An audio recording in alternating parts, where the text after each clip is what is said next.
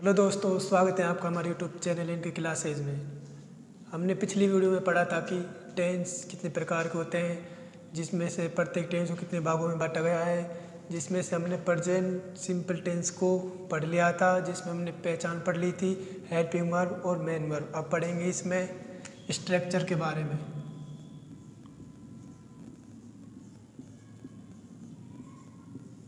Structure के बारे में। पहला देखते हैं अफर्मेटिव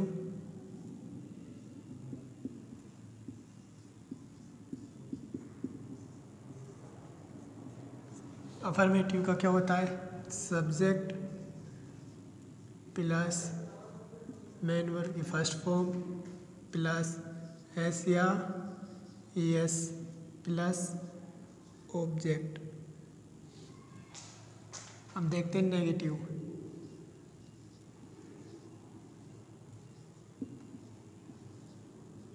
नेगेटिव का फॉर्मूला क्या हो जाएगा? Subject plus do does plus not plus main verb की फ़र्स्ट फॉर्म प्लस ऑब्जेक्ट अब देखते हैं interrogative sentence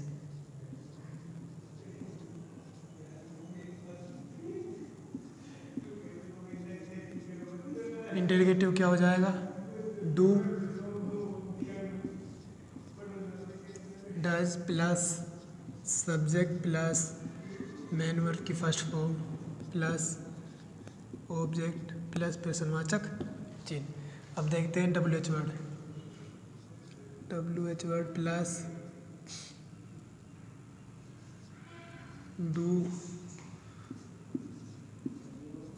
does plus subject plus main verb की first form plus object plus प्रश्नवाचक चिन्ह अब देखते हैं interrogative negative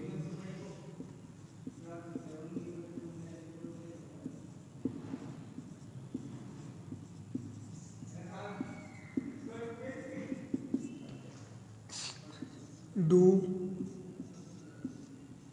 does plus subject plus subject के बाद क्या जाएगा इसमें? नेगेटिव है तो इधर क्या जाएगा? नोट प्लस मेन वर्ब की first form plus object plus प्रश्नवाचक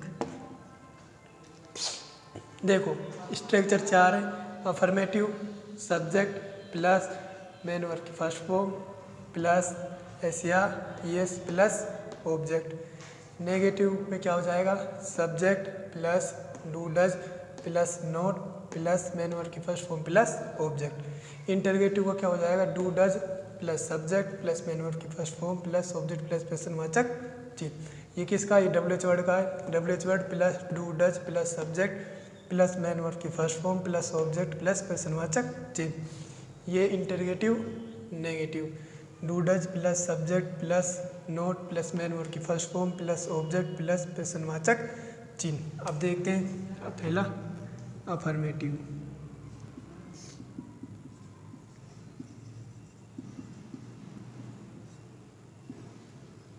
वे स्कूल जाता। देखो वह स्कूल जाता है। ये क्या हो गया? सब्जेक्ट। ये क्या हो गई? ऑब्जेक्ट। ये क्या हो गया? Main verb. ठीक है ना?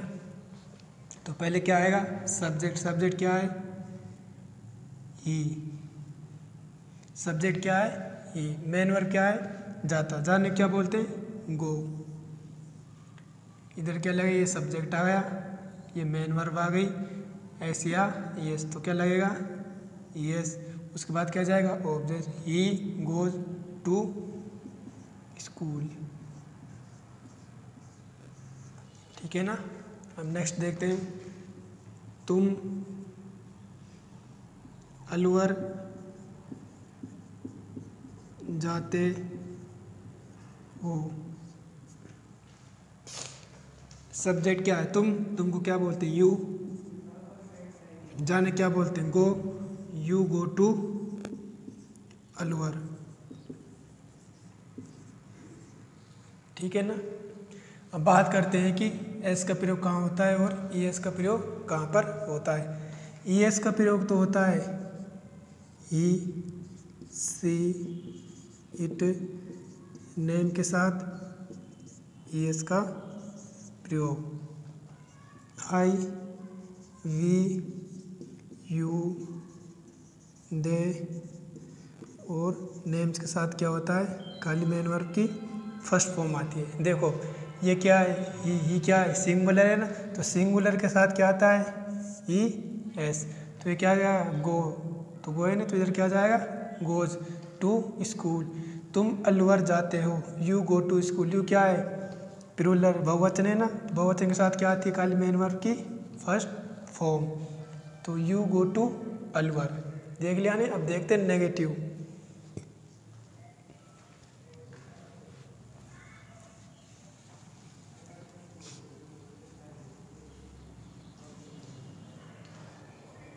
हम देखते हैं नेगेटिव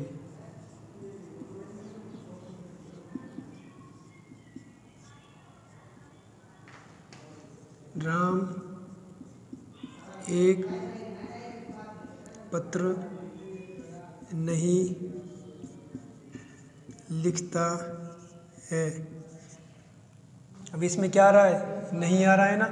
राम एक पत्र नहीं लिखता है। तो राम क्या है? सब्जेक्ट। तो राम सब्जेक्ट के बाद क्या है? डू और डज। तो राम क्या है? एक वचन एक वचन के साथ डज का प्रयोग होता है और बहुवचन के साथ किसका प्रयोग होता है? डू का। तो राम एक है ना? तो एक वचन के साथ किसका प्रयोग, राम डज नोट लिखना को क्या बोलते हैं? Write does not write a letter ठीक है ना? Ram does not write a letter negative बनाए नेगेटिव में क्या लगता है? नोट और हेल्पिंग और क्या आती है? डू और डज ठीक है ना? अब देखते हैं नेक्स्ट मोहन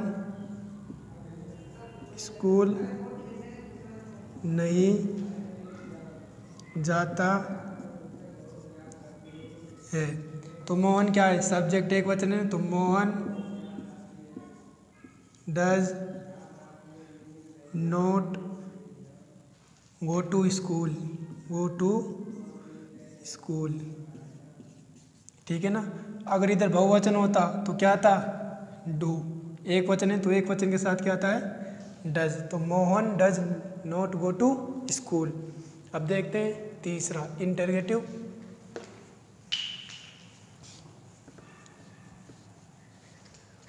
देखते हैं तीसरा इंटरोगेटिव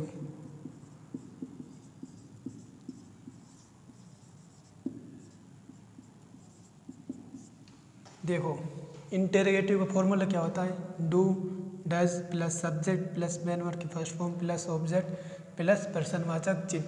जितने भी इंटरोगेटिव सेंटेंस होते हैं, उनके अंत में क्या लगाया जाता है? प्रश्नवाचक चिन्ह। और इनका उत्तर हाँ या ना में दिया जाता है। क्या मोहन स्कूल जाता है? क्या राम आम खाता है? तो उदाहरण देखते हैं। क्या रोहन गाना गाता है। तो इसका उत्तर यस या नो में आएगा ना। क्या रोहन गाना गाता है। तो ठीक है ना, अब देखते हैं इंटरगेटिव का फॉर्मूला के हिसाब चलेंगे।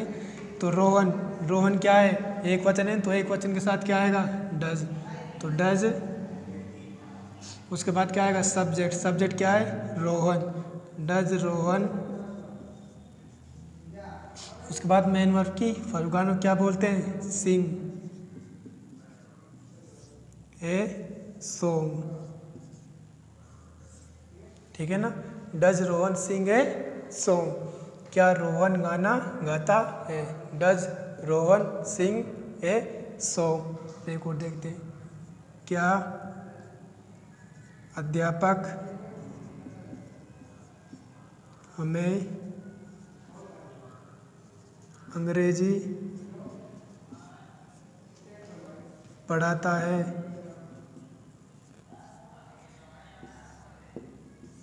ठीक है ना? अब देखते हैं, क्या अध्यापक हमें अंग्रेज़ी पढ़ाता है? तो अध्यापक क्या है? एक वचन तो एक वचन के साथ क्या आता है? डज टीचर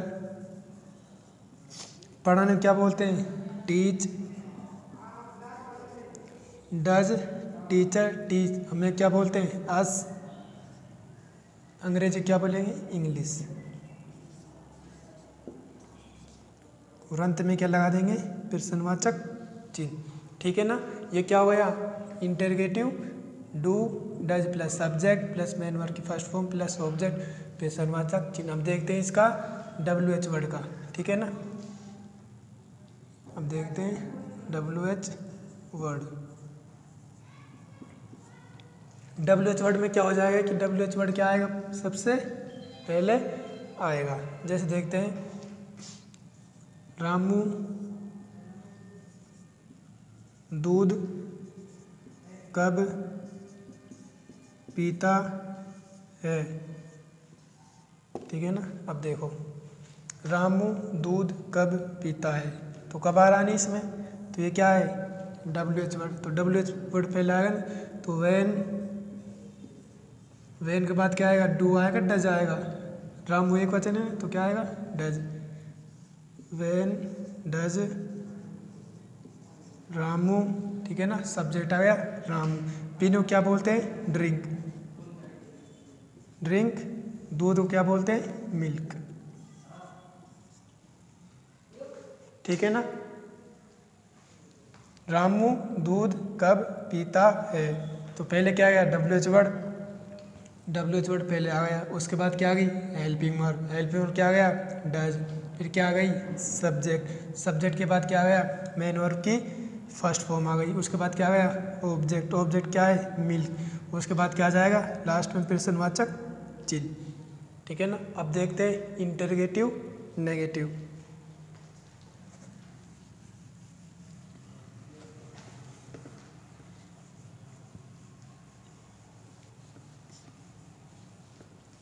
अब देखते हैं इंटरोगेटिव नेगेटिव इंटरोगेटिव नेगेटिव देखो